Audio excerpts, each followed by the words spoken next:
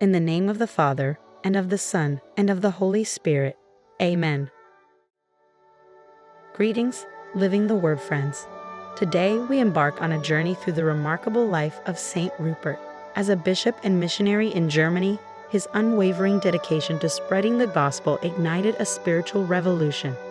Join us as we celebrate his enduring legacy, a beacon of light inspiring us on our own paths of faith. Saint Rupert, also known as Robert of Hrodbert, was a luminary figure in the spread of Christianity in Germany during the early medieval period. Born into a noble Frankish family, little is known about his early life, but his impact on the church and his fervent dedication to spreading the faith reverberate through history.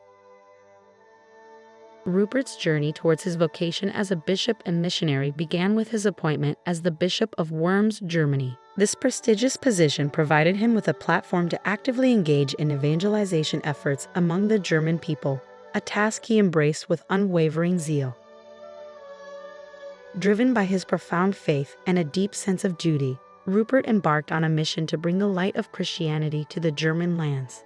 He traveled extensively, tirelessly preaching the gospel and establishing churches and communities of believers. His charismatic presence and persuasive preaching attracted many to the Christian faith, leading to a significant growth of the church in the region. One of the defining moments of Rupert's life was his establishment of the city of Salzburg in present day Austria. Recognizing the strategic importance of the location, Rupert founded a monastery and a church dedicated to St. Peter, laying the foundation for what would later become the renowned Salzburg Cathedral. Throughout his ministry, Rupert was credited with numerous miracles, which further bolstered his reputation as a saintly figure. Tales of his healing powers and miraculous interventions spread far and wide, inspiring awe and devotion among the faithful. After a lifetime of dedicated service to God and the Church, St. Rupert passed away, leaving behind a legacy of faith and spiritual enlightenment.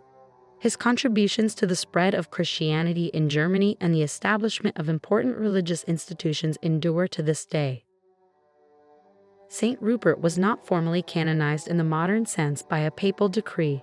Instead, he came to be venerated as a saint through popular acclaim and local devotion over time.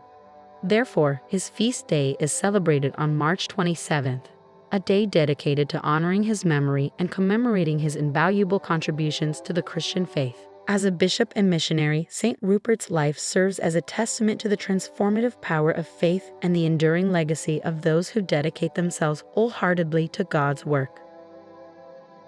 Let us pray. Heavenly Father, we thank you for St. Rupert's inspiring example of faith and service. Grant us the grace to follow his path of dedication and love for you. Through his intercession, may we be strengthened in our own journey of faith and become beacons of your light in the world. Amen.